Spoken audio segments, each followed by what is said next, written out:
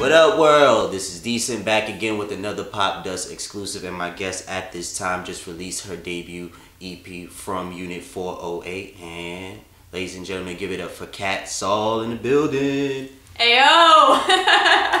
nice to meet you. Kat, thank you for stopping by. yeah, thank you for having me. So the EP is out. It's Yes. amazing. It's phenomenal. Thanks, Tell the people a little bit about the title and you know the concept around the EP. Yes, so the title is from Unit 408. Um, and Unit 408 is actually my apartment number and the first single that we released from the EP. Um, and the whole idea behind it is that all the songs on the record, including Unit 408, are about like people and topics and just situations that have kept me up late at night in my apartment walking around.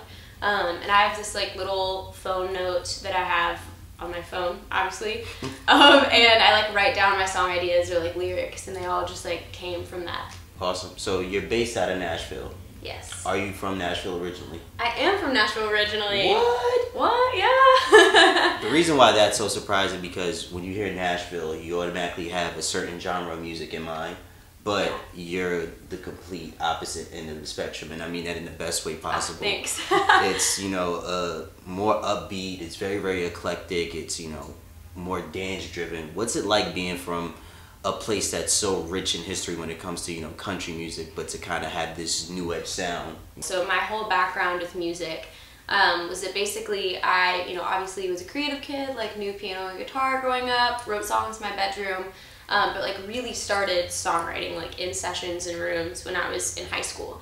Um, and so I feel super grateful for Nash- Nashville's like culture of having really great songwriters.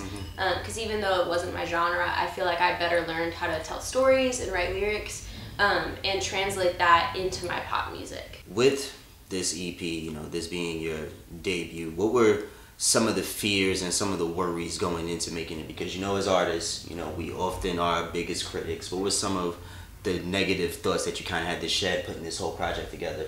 Ooh, I would honestly say a lot of the whole writing songs about real people and real situations um, was something that was a little nerve wracking to me. I was like, but what if people know who it's about?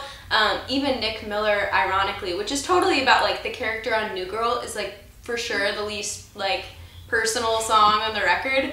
Um, like there are a million people in Nashville named Nick Miller, and of course people were like, "I can't believe you wrote that song about my friend," which was like not true at all. How dare you write Uh, this song about Nick who works at Arby's? He's a great guy. yeah. LOL. And speaking of Nick Miller, I'm a New Girl fan. Yes. So, I definitely, you know, depending on what day it is, I really, really relate to Nick. But then I could be a Winston on certain days, and then I could definitely, Yes. definitely be Schmidt. And depending on how my hair cooperates, I'm definitely Cece. But what about, what about you know the character, you know, Nick Miller resonate with you so much that you decide to dedicate a whole song to him? The whole idea for that song, other than just I'm always up at night binge watching it, like I think that's literally how I fall asleep now, um, was that my co-writer Paige, um, it was actually my first write with her and my producer Lucas. Um, she was like, "Hey, Kat, has anyone ever told you that they rem- you remind them of Jessica Day from New Girl?" And I was like, "Oh my God, like so much." Um, I just like need to find myself a Nick, I guess. Haha. So it kind of came from that concept. Um, but I think what jumps out about Nick at me is that like he's such a down to earth kind of dude. Um, and someone that you can be like really good friends with, but in Jess's case, like also date. Um, and that's like what I want out of whoever I end up dating. Yeah, Um, and, and also at times men can be very, very daft and stupid. Speaking Yeah. from experience. You know, yeah, maybe. Girls too, it's human. but I just feel like you know with the the sound that you're cultivating, it's you know it's a new take, but it's also a throwback to like you know the the the Blondies and you know the the Gwen Stefani's. But once again, it's your take. You know, it's not so much you're imitating it. You taking this you know I guess familiar sound and bringing it to a whole new generation. And once again, you coming from Nashville, I feel like it's just gonna be a punch in the face to everybody because you're expected to make a certain type of music. But speaking of which, we actually premiered your video for Jericho yes. last year. Tell us a little bit about the video. The video is very, very high energy and the reason why the high energy resonates with me is because it's just you by yourself but you're managing to really really convey so much personality with it just you being in a room you know dancing around what was it like shooting that video it was actually so fun so we shot it at tremble house um, which is a new artist collective space in Nashville. Awesome. Um, and one of the main reasons that we wanted to shoot there was that within the space, there's like a cyc wall and like a stage set and like kind of a living room setup. So we were like, this is so cool. Let's just like use all of this. Um, so we tried to kind of designate each of the different spaces within the warehouse as like a scene or like a state of mind. So when I'm on the stage, it's more like introspective and like performing loud. Um, and then there are moments that are just like more close up when I'm in like kind of the living room space, even though it's one sort of long choreographed piece. Awesome. And going back to, you know, the whole concept of having a team around you, it really seems like that's the key to your success and being able to be so level headed and be able to create. Is that something that you feel is essential for an artist at any stage of their career, be it them starting out from the very, very bottom and then being at the very, very top? For me, I'm an independent artist and I'm unsigned, but I guess when I use the word team, it's just like a support system. Mm-hmm. Like I consider my mom a member of my team. Hi, mom. hi, mom.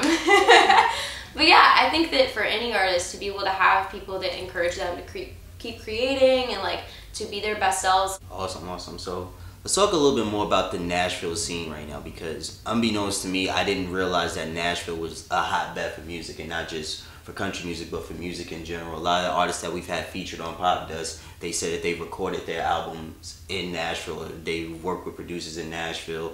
What's the creative scene like? Because I know you mentioned the creative space that you shot the Jericho video in. It kind of reminds me a lot of how the Brooklyn scene is here, where it's yeah. just like this open-ended resource for creatives wanting to thrive and make different types of art. Is that sort of the same vibe with Nashville right now?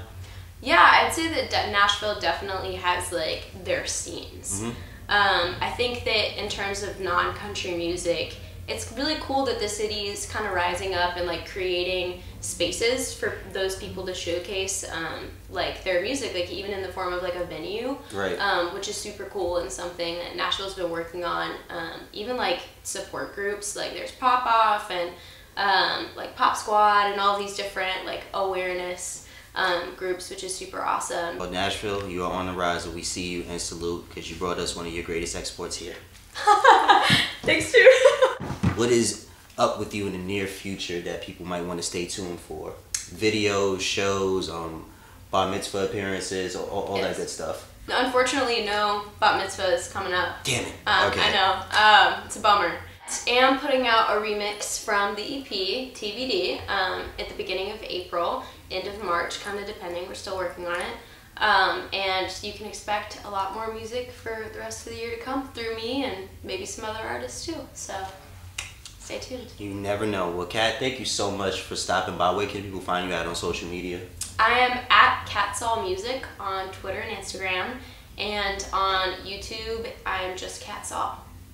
Well, there you have it, ladies and gentlemen. Give it up for Kat Saul from Unit 408 is out now on all streaming platforms, right?